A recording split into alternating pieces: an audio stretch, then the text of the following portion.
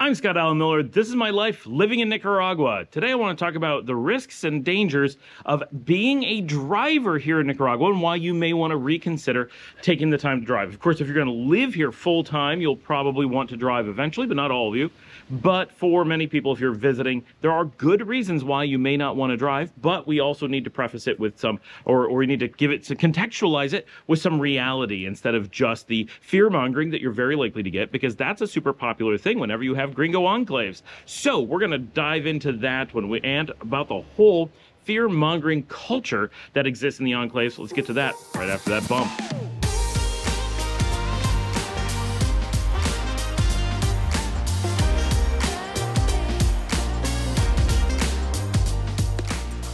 I'm out standing in the rain doing today's video because it's raining all day and I don't have a chance to record and it's very easy to fall behind if I don't get right on it. So I'm recording in the rain and it's actually lovely. It's a very light rain. When we get heavy rains, there's no way for me to record when it's late like this. It's fantastic.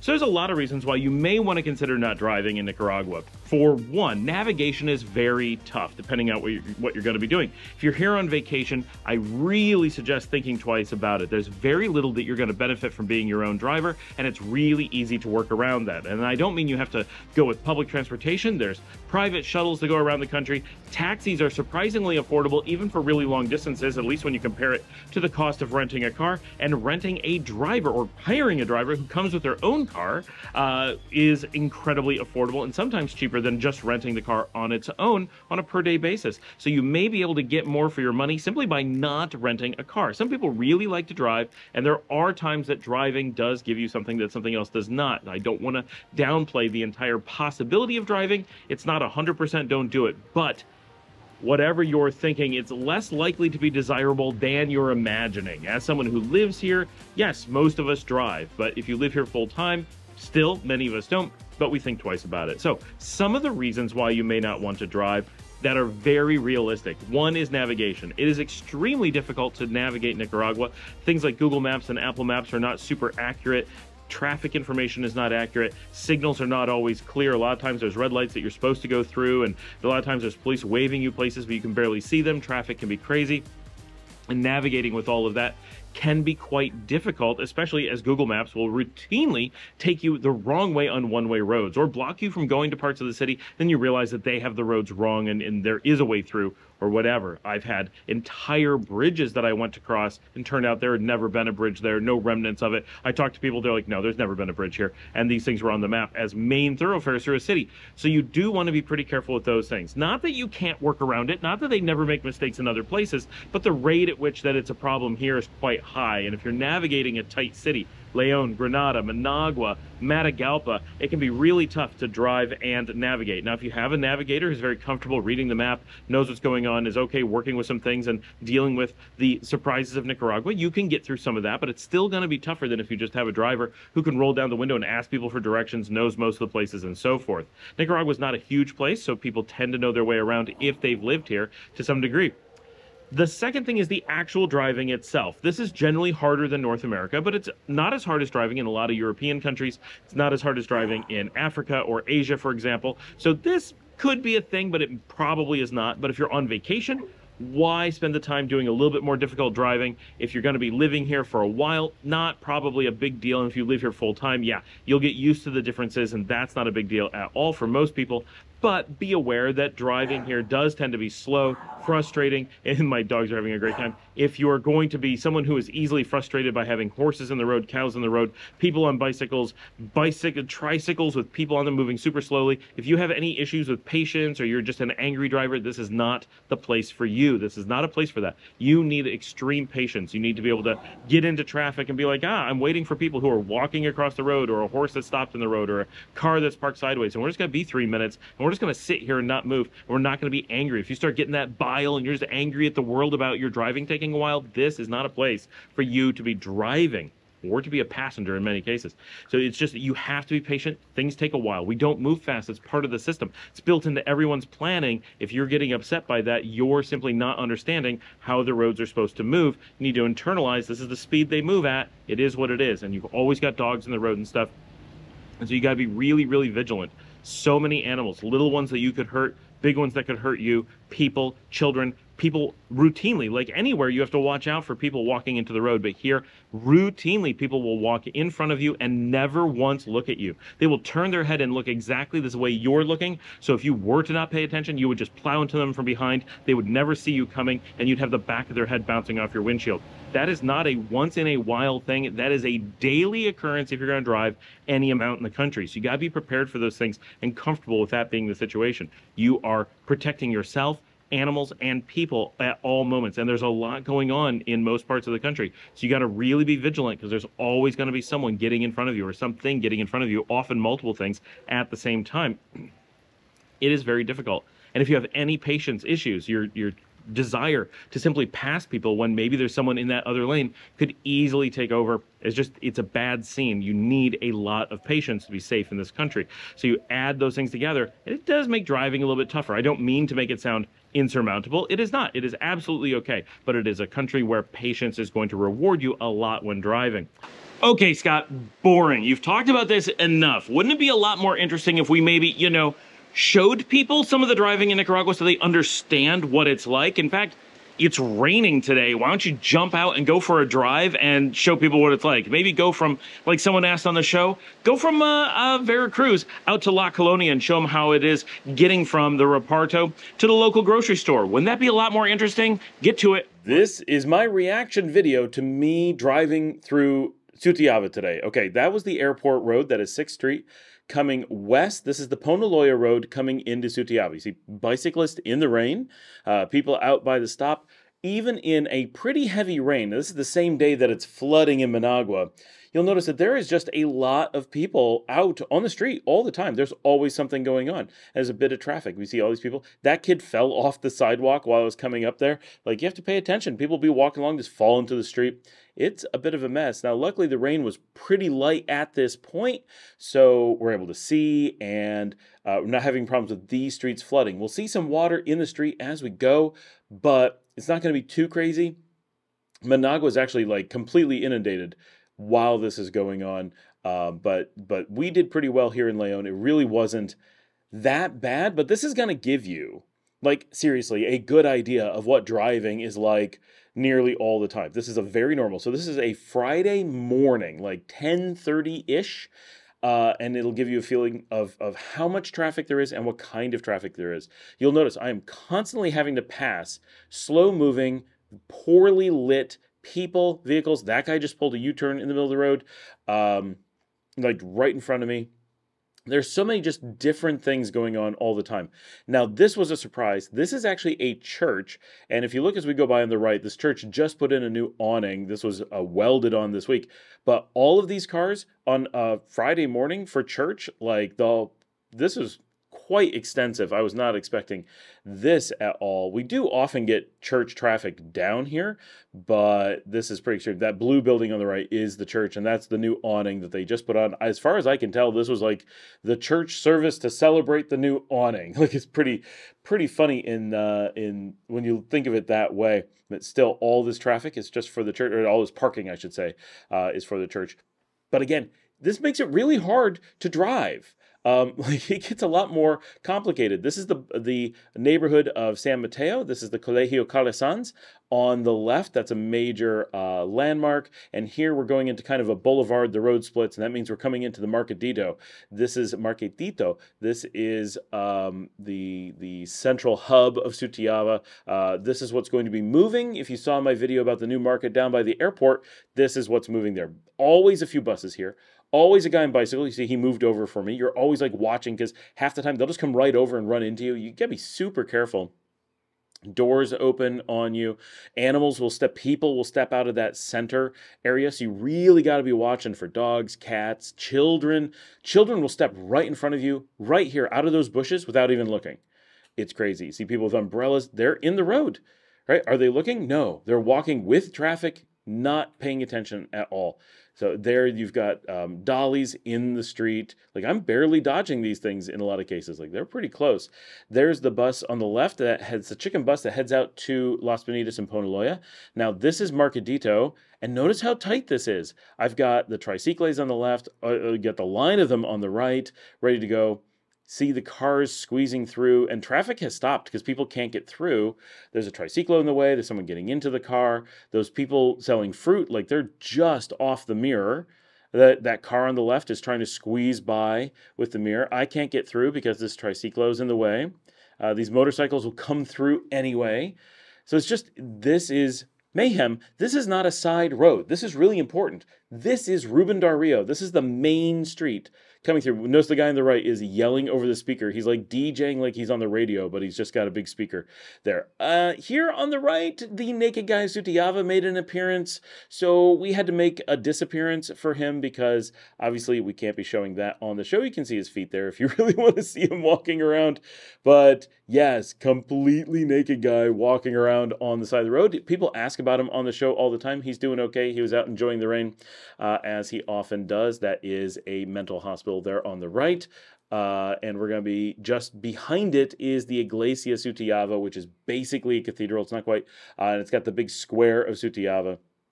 And you can see both sides. We're waiting for people on triciclos. Traffic just comes to a standstill. You got to be patient, right? There's no way you're going to rush this. They can't go faster. You don't want them to, you know, they have no way to get out of the way, right? The roads are too tight. There's one that's almost going to come in. And uh, uh, it's just, it's really complicated, but they provide an important service. They're really great. It's just, what are you going to do? That is Dr. Coffee right there on the right. That's where we go quite often uh, to get coffees and stuff. Uh, very nice place. And uh, then we get a little bit better. This is like the heart and soul of Sutiava on the main road the traffic is still pretty heavy. Notice that we're still squeezing by all the cars, but we're able to get by pretty well. The the Mercadito church area is really, really bad. Uh, but most of Sutiava is normally just, it's a little bit of a challenge. You got speed bumps. Why would I need speed bumps? There's no way to get up to speed here. Like, that's crazy. Just another obstacle to make things tough. And these are always deep speed bumps. Like, you hit them hard, you're going to damage your car. So you got to watch really carefully. Uh, and, and this is just every day, everywhere, right? There's a tricycle about to jump into traffic at any moment. They'll be in the way. Now we're coming into like pharmacy row. And notice there's there's people just everywhere, right? Vehicles going in every possible direction. So you're never sure what they're going to do, how close they're going to get to you. You have to move slow and you have to be alert at all times, like super super alert. Uh, people walking, they'll just walk right next to. They didn't even wait for me. There's like ah, it won't hit me that hard. like that's kind of the the feeling. Uh, so many people on bicycles, motorcycles. There's a horse at some point. I think it was in the other direction. I'm not going to show like both directions, like the whole day driving. We'll put them on Drive Warp or put them on the Scott Alan Miller uh, show so you can have some raw stuff there. That guy starts pushing right next to me, so he's right next to the car, and basically he doesn't hit it, but it gets really close. Here I've got to get by this bicycle, but it, does he move over a little bit? In this case, he did. In, in many cases, they don't, and almost always, if you see them move over, it's because I'm honking at them right? Not because they're actually just getting out of the way. That guy was not going to stop his motorcycle, I don't think. And then you're always worried these guys are going to jump out. So you're watching really carefully. More pharmacies there. This whole stretch, starting with Dr. Coffee all the way down to that's, uh, I think this in the blue is probably the last one just all pharmacies the whole way. It's really crazy. And then we're coming up to this is Banpro on the right, and the Panaderia Jerusalem is on the corner on the left there. And this is the Semaforo. Semaforo, this is the street light that separates the Barrio Sutiava from the city of Leon proper. So once we get through this traffic, which is pretty often pretty crazy, people will walk by, bicycle by while you're sitting at the light, all kinds of things going on. You're just so much. And uh, once we're through the light, then we'll zip through Leon and we're going to go to La Colonia. So we're doing the drive from the Reparto Veracruz. That's basically where we started the video.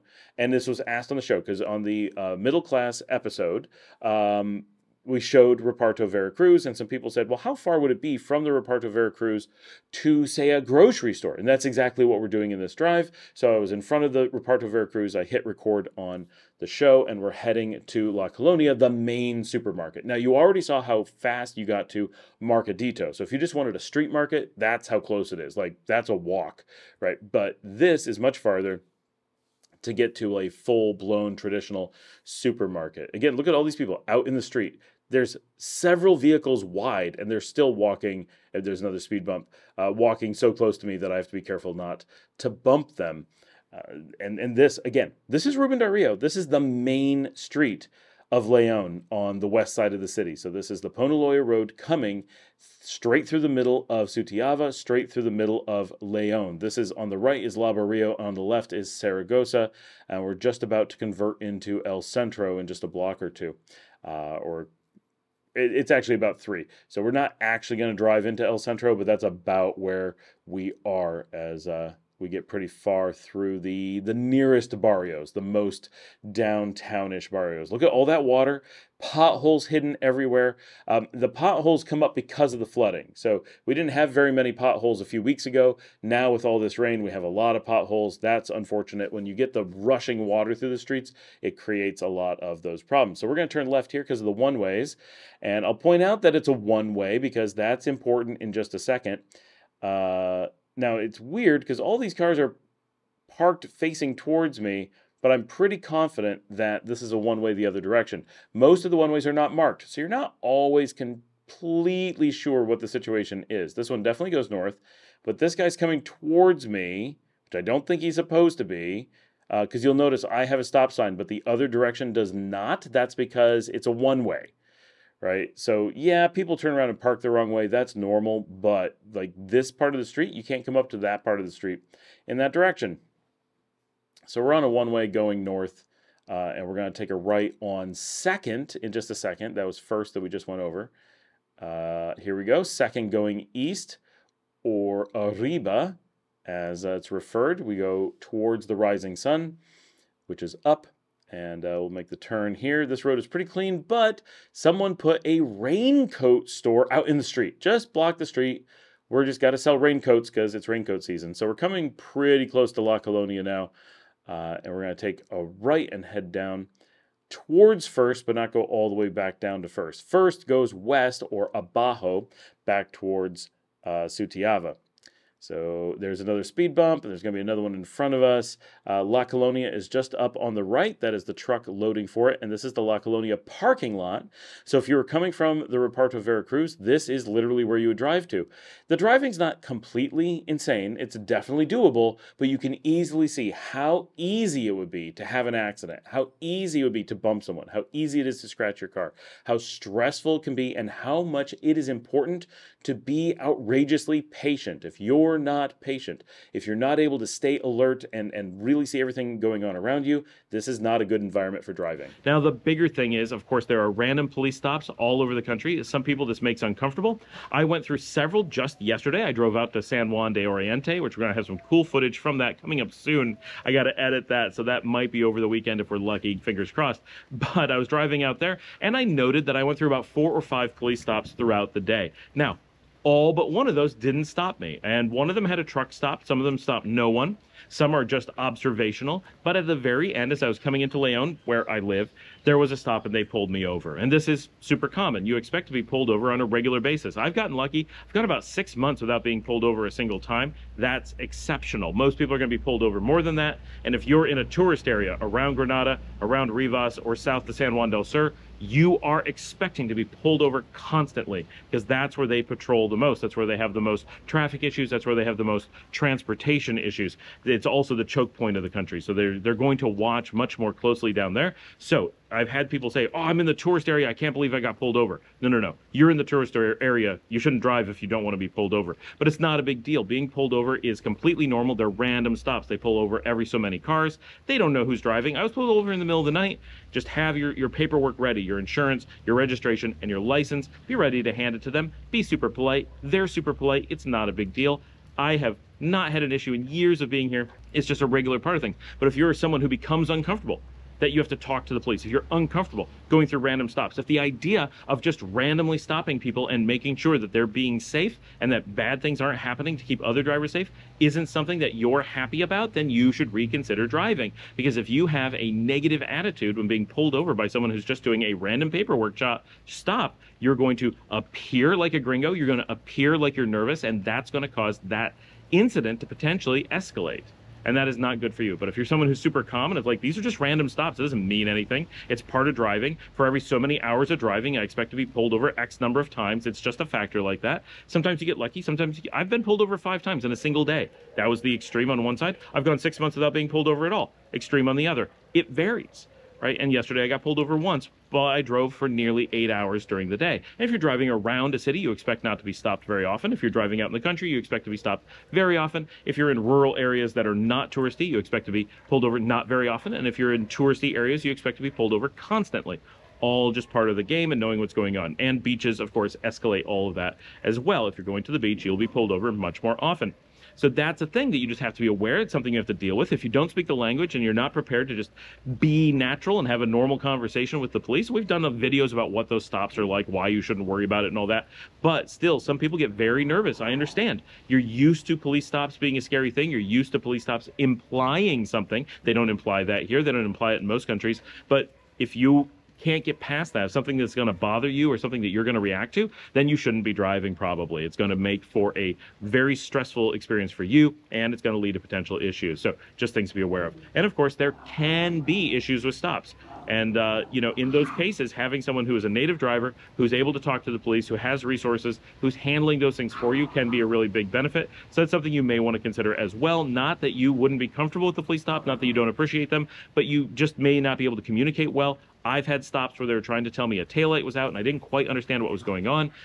Not a big deal, but there can be a simple situation. Oh, a light is out that I didn't know about. They want to tell me about it, and I'm not understanding that I have a tail light out. Right? In that situation, there was no ticket, there was no fine, there was no nothing. He was just explaining that I had a tail light out. You should probably go get this fixed. Oh, cool. Thank you. Is it the left one? Yeah, it's the left one. Okay, have a good night. Right? That was it. Those are things that you just you have to gauge how you're going to react to it. And then finally, there is the what if something bad happens right? With all these things you got you got complicated navigation. You have a little bit more than if you're coming from north america complicated that or england more complicated than that driving.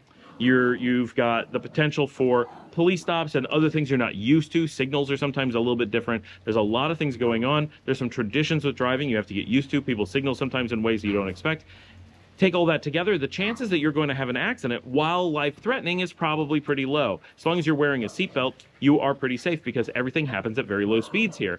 So generally, you're going to be fine as far as being injured in the accident. But there's so many people who are out there without protective gear, so many people and animals just in the street. You might end up very easily end up in an accident where you hurt somebody or do damage to their property, in which case you're going to have to deal with the police, with insurance, with all kinds of things.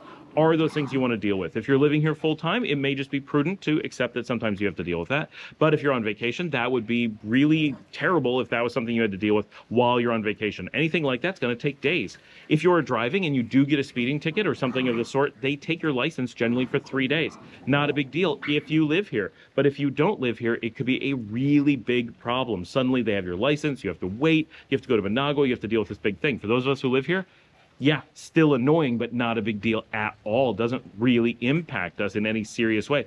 But if you're on a vacation or you're just not comfortable dealing with stuff like that, if you don't have a lawyer, suddenly these things snowball and it's like, ooh, even a really little fender bender that's no big deal or a speeding ticket could be something big. But if you actually have an accident where someone gets hurt, obviously it's going to escalate. Suddenly you can't leave the country. They're going to pull your passport. If they deem you as a flight risk, there's the possibility, and we're going to talk about this, of being uh, detained in a holding cell until such times they're able to uh, deal with you through the court system.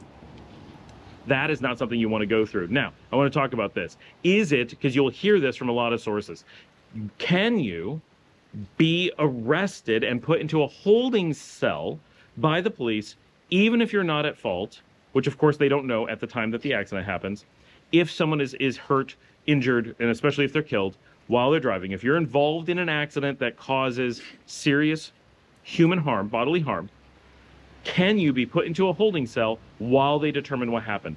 Yes, that is absolutely the case. That is something that can happen. However, while that is true, that is because, especially if you're a foreigner, you are a flight risk. If you have truly done something terrible or you're facing some really harsh penalties, it is expected that you may make an attempt at crossing a border. Why wouldn't you? If it's not a country you plan on living in, if it's not a place that you're tied to in any way, why face the criminal system when you can just get away? The United States does not extradite to Nicaragua, to the best of my knowledge. They are not friendly countries. Canada is not particularly friendly with Nicaragua. You would expect that if you were able to make it home to one of the major tourist countries where people are coming to Nicaragua from, that you would feel safe and be confident that you would not face trial in Nicaragua, even if you had committed a crime. As long as you're able to get over the border and get away. And so that is something they have to worry about. They have real risks with this. And so if they deem you as a flight risk and you have a serious crime, there is the potential of you being held while it is investigated. That's important to understand why it might happen, that it could happen, but it's also important to note that in years of living here, I have never heard a credible story of it happening. The closest thing I've ever heard is a third party where someone I've never met in person makes the claim that someone they once met in person made the claim that it happened to them, and in the description was that they had actually hit a child. So whether or not it's an accident, nothing implies that it wasn't their fault and that they weren't going to. If you just hit a kid and it's not the kid's fault, there's a very real possibility you're going to go to jail anywhere, right? That is a common thing, right? If you are driving somewhat recklessly, if you are impaired, if you are old and got behind the wheel and, and it turned out you were in, impaired from your age, if you were tired, all those things are illegal right? If you're in the United States and you were elderly and you drove and you accidentally hit someone and they could show that you knew you were elderly at any point and that you may be impaired and not driving up to snuff, while it is rare to prosecute on that, they absolutely can. That is totally legal. That is, you know, you could be sued by that family for wrongful death, for wrongful injury, whatever. And if they can show, then it becomes reckless endangerment and a bunch of other felony activities, you could easily go to jail for that. And the United States is really big on sending people to jail. They're often looking for those opportunities. So if you're white, yeah, not too likely in the US, but if you're not white, it's a very real risk. Here in Nicaragua, it's about the same. Right, so we've heard stories of basically Nicaragua acting like any other country. If you have a major accident, you hurt someone, you could end up in jail. Well, that's just reality. Right now, I don't know how many times this has happened. What I do know is that in years of living here, I have never had anyone that I know know of anyone that's had this happen. Right? I do know someone who had a DUI and, and killed someone. They went to jail, obviously. That's different. We're talking accidents. We're talking bodily injury. We're talking being held during the during the determining who's at fault stage. This could happen. It really can but I have no credible rumor of it ever have happening. The only stories I've ever heard are from anonymous people who are supposedly in the San Juan del Sur enclave area, where the risks of flight would be many times higher, where the police are typically much harsher with foreigners because they have a lot of behavioral issues with the enclave down there. And still, it's only rumors. And even the rumors we've heard don't make it clear that they shouldn't have been in jail, right? So if you're not at fault, we don't even have a rumor from an anonymous source to suggest that it might actually be a real world problem.